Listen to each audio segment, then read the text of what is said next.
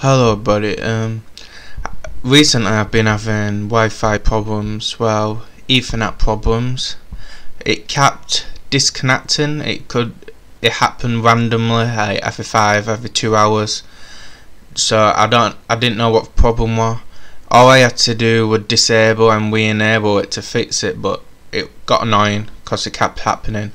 So recently I fixed it, um, and it was quite easy to fix. So this is only for Ethernet, so I don't know if it will work for Wi-Fi. I'll just be going through three things you can do. Um, the first two you probably know. The third one is what fits mine.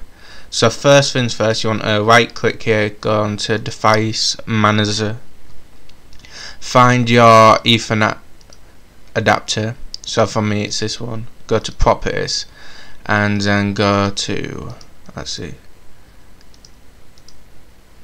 driver, go to driver and then just update it. You've probably already done this. Just do search out automatically for the updated driver software or if you have the driver just go browse your computer.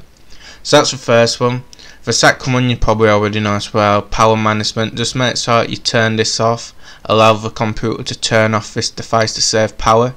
Just turn that one off. You know, I don't even know why you have it on the desktop, but yeah just turn it off. I onto the third one. This is the one what? Fixed mine go to turns adapt options. Go here. Go to um, I think it was. Let's see. Properties I believe.